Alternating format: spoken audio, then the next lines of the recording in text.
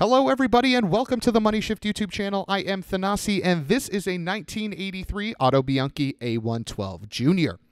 Now, the Autobianchi A112 was produced starting in the late 60s, and they made about 1.2 million of these, and they made a host of different models, with the hottest one being the Abarth, much like the Abarth 500. And this one has a host of modifications to make it similar, including these 13 inch Minilite wheels with the Abarth center caps and the Abarth engine. This thing actually has the 1050cc 70 horsepower Abarth engine. And I know what you're thinking Thanasi 70 horsepower doesn't sound like a lot, but you got to remember, guys, this car weighs 1,500 pounds. So it is incredibly light. And while this car not be familiar to you, it is familiar to a lot of people in the world.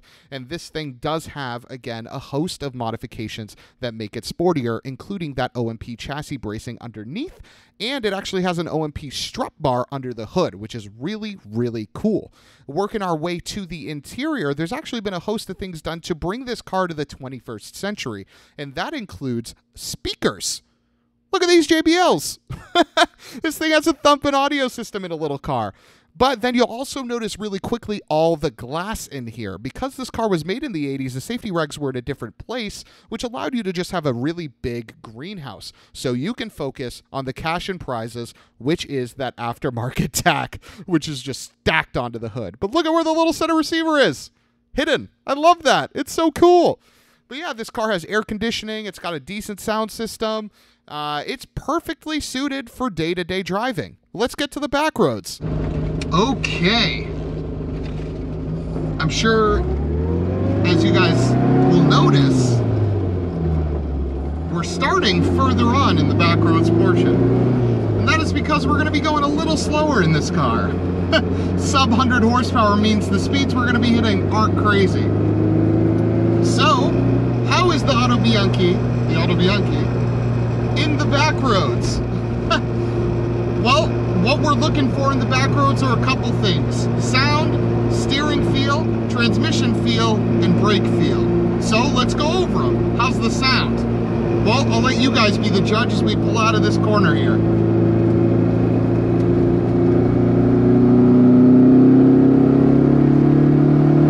I don't know about you guys.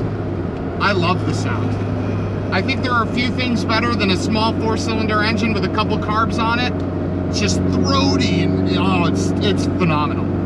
How's the steering? Well, it's an unassisted rack, so it truly does feel like a go-kart you would ride as a kid. How's the transmission? It's like you have a stick in a box of gravel. You're kind of guessing. I mean, after you drive the car for a little bit, you know where to put it for first, second, third, and fourth but you are guessing if the car is engaged. There is no notchiness to that.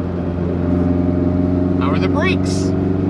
A bit spongy, uh, but after you get past a certain point, they are incredibly firm and very precise. It is easy to modulate the brakes in this car. How's the comfort?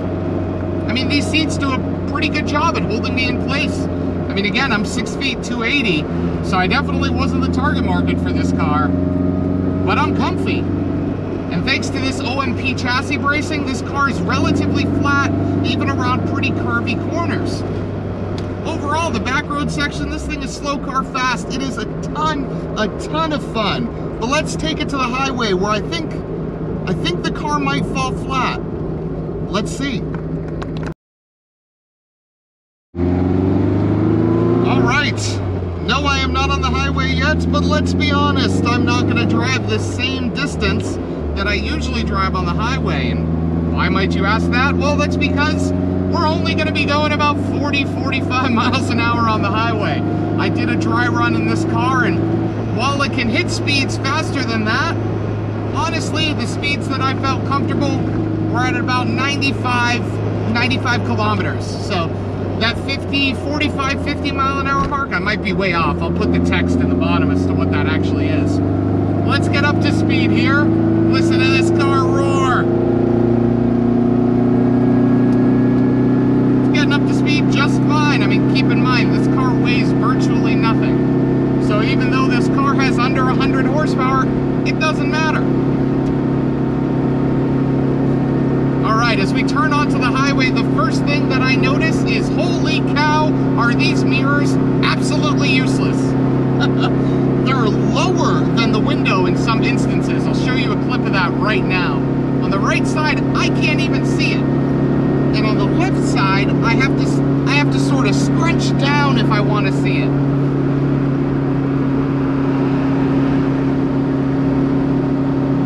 So as we get past left, right, and center here, because we're only going 100 kilometers an hour, let's talk a little bit about how this car feels on the highway. At this speed, again, 100 kilometers an hour, it's rock solid. I mean, I'm not bouncing around. It is a windy day, but I'm not moving. And even though these mirrors are useless, because this car was built in the 80s, the pillars are incredibly small. And what that means is the greenhouse is unbelievable.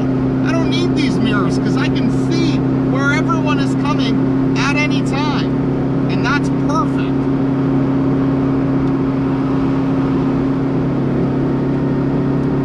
That's the funny thing about this car. I have more people drive past me that give me some sort of wave, thumbs up, whatever, than I do drive past me that don't do anything. This car draws a lot of attention and it's hilarious. So let's be real. While this car can do highway trips, you know, to your cars and coffee in the morning, you're gonna have to budget some extra time because you're not gonna be going 75, 80 like you're used to in your current daily driver. But highway aside, let's get to the around the town portion where I'm gonna go a little bit more into the history of this car and its owner, as well as talk about if you should look into the Autobianchi A112 to buy. Let's see. All right, let's do a quick review of the back road and the highway portion before we dive a little bit deeper into this car and its history. So, how is the Autobianchi to drive on the back road? Well, in the back road section, what I care most about are three main things really.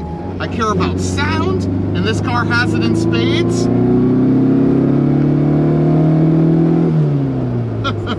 I care about steering feel, and let's be honest, few things beat an unassisted steering.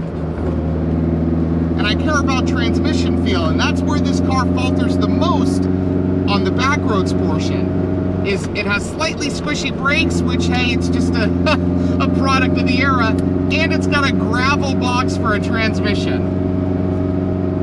And on the highway, the car cruises just fine, but it does it at 50 miles an hour. So you got to factor that in when you're going to your morning cars and coffee.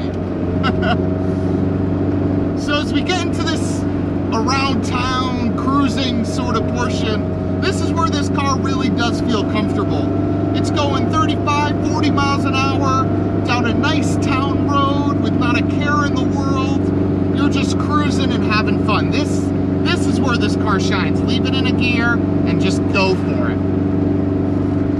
So why do I have the keys to an Autobianchi A112? Where in the hell did this car come from? So, the story's pretty simple. Actually, there's a photo in the back seat. This, this right here, that's my father. and that was his car in Greece, an Autobianchi A112. He outfitted that car with the new front end and rear end, and just like this one, swapped in the bigger motor. When he moved from Greece to the US, that car obviously had to stay. And with that was his love. I mean, that thing had a roll cage. It was fully kitted out. The car was cool, man. The thing was awesome. So recently, my sister, my parents, we've been trying to find my father another one of those cars. And we were sent a Bring a Trailer auction by Clark. That Bring a Trailer auction was for this very car. So we started to bid. And wouldn't you know it, we got it. Fast forward two weeks, and in came a really big truck from Canada holding this little car. And it was hilarious. Picture a really big transport truck. The door opens, and you don't see anything. You're like, wait a minute, is this an empty trailer? No, no, no, no, no, no. The Autobianchi's in there. It's just all the way in the front, all the way in the back. You could barely see it from the outside. So we were able to secure another Autobianchi A112 for my father.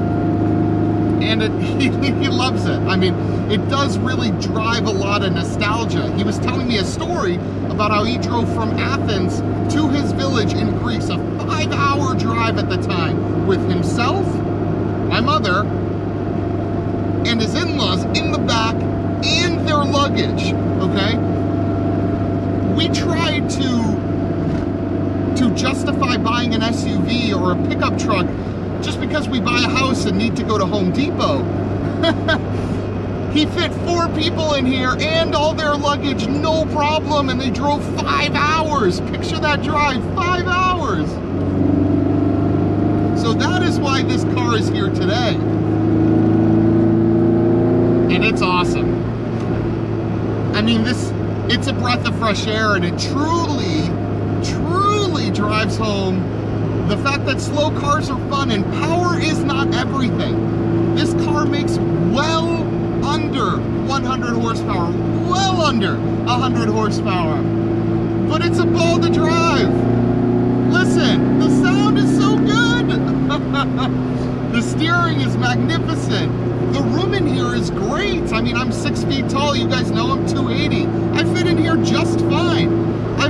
More claustrophobic in modern cars than I do in this thing. So should you buy one? Is this the car for you? Well, let's get to that. Ah, so you are a person of culture and are considering an Autobianchi A112. Should you be? Well, as I drive this car down this lovely road, hard question to answer. And the reason why it's hard is a couple things. For one, I love the fact that this isn't an original Mini Cooper. While it is of similar size, of similar spec, it's different and it stands out because of it. I mean, you're likely to be the only person with an Autobianchi A112 anywhere you go around the world, unless you're going to an Autobianchi meetup. And that's something. I mean, there's something to be said for that, especially because while I haven't driven a Mini Cooper, I can't imagine its experience being too far removed from this one. But, but, with that comes exclusivity. And exclusivity means hard to find parts. Because this car is so niche, because there are so few in the US, while there are a couple people that hoard and store parts, you're gonna be hard pressed to find what you need should anything break. And that is something to keep in mind when considering a vehicle, even if it is gonna be your secondary. If you wanna get a hood for this car, if you wanna get doors for this car, seats for this car, a dash, a head, whatever, you're gonna have to look and you're gonna have to look hard. And that is something that cannot be ignored when considering a niche specialty vehicle like this. Is the driving experience worth it? I take this little corner here.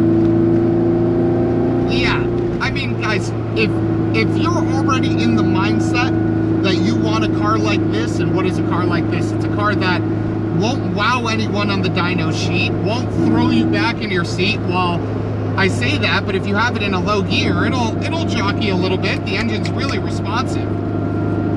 But you're not going to be winning any contests or any any setting any records anytime soon. If you're in that mindset, then I'd consider one of these for sure. And the good news is, is because they aren't an original Mini Cooper, you can find these for good money if you can find them. I mean, the price of ours is on Bring a Trailer, but we paid under 5000 for this thing. Find me an original Cooper for under 5000 that has a host of really rare OMP chassis bracing and an upgraded motor like this car. You won't be able to. So if you're looking for that feel, that small Italian car, or just small car in general that that's fun to drive and corners well and sounds awesome, yeah, consider one of these. What's another car you'd consider instead of one of these? An original Honda Civic. The CVCC, I think it was called that's a car that has a more plentiful aftermarket in the sense of replacement parts. It's a little bigger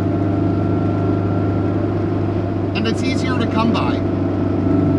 I'd keep that in your thoughts if you're looking for a small compact car. Keep that original Honda in, in, in your mind because it's a good one.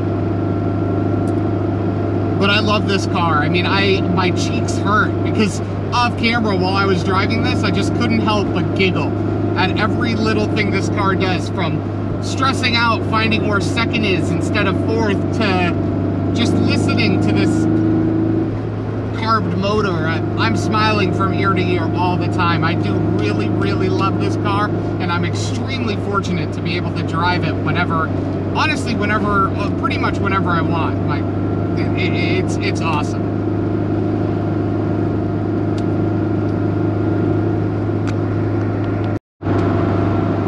As we sign off today, I wanted to thank you guys for the support you continue to give this channel. We're up to over 100 subscribers now. The view counts are really good. The comments are awesome. You guys rock, and I couldn't be more appreciative than I am. Thank you so, so much. If you enjoy this video, please leave a like. It would help dramatically, and I would really appreciate it. Thank you guys so much for that. As always, drive safe and we'll see you next week on the Money Shift channel.